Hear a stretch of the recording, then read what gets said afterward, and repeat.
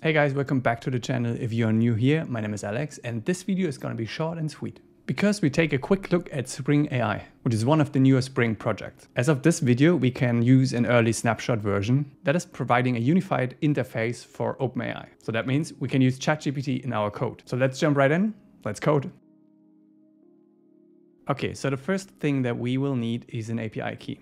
So I'm here in my OpenAI account and then you can go to personal and then view API keys. And then you can create a new secret key. You can see I've created one earlier here already that I'm gonna use.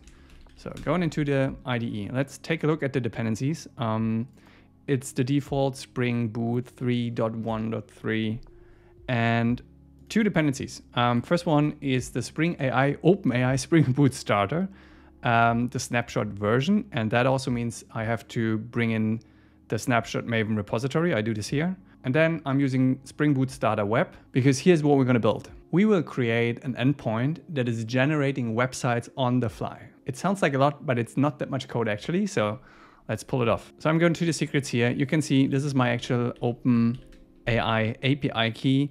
This is the property name that I have to use. I added it here. I made it optional in the application property so I don't check in accidentally my uh, secret key. And let's go to the app actually. So we define a controller and let's call this um, website controller. This is going to be a REST controller and it requires the AI. And this is the AI client. And we're going to use that in a get mapping. And the endpoint is websites and then topic. Because here's the thing, I want to generate websites dynamically based on a given topic. And this produces um, media type. Where is it? Media type. And then it's text, HTML value, fun website. And then we need the path variable.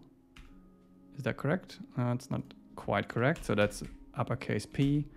Import this, returns a string and yeah, let's make this a little bit longer. So we want to return a website for the given topic. How do we do this? Uh, let me copy over the prompt because I've done this already. Um, so this is it. So I can invoke AI generate and there's one method that expects a string. There's also one that expects a prompt and I can configure that. But I'm using the string here. Um, so you can see um, this is the prompt. Return valid HTML5 for a topic, and the topic is what we pipe into the endpoint. Single page website, make the page look visually appealing by using different colors and fonts. Also provide valid copy for the individual sections. Let's see how that goes. So I'm immediately starting that application.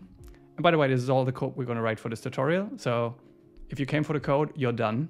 But let's just see what it looks like. So the application has started. Let me go to Chrome. And then we hit HTTP localhost 8080, 8080 website. Let's come up with a topic. Let's start with a dentist. Oh, that doesn't work. Why does it not work? Let's see. Web websites. Oh yeah, so you can see it's loading and it's gonna take a bit of time since everything's generated. So I cut the video here so you don't have to wait all the time. Two hours later. There we have it. Welcome to Dr. Smith Dental Clinic. Um, okay, I said it should actually provide valid copy, but this is lorem ipsum, like blind text. That's that's just all examples, but but it's still fine. It it also it seemingly ignored my request for more colors, which is fine.